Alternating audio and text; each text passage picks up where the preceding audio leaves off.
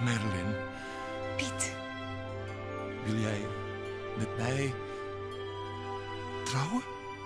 ja natuurlijk Piet. Natuurlijk.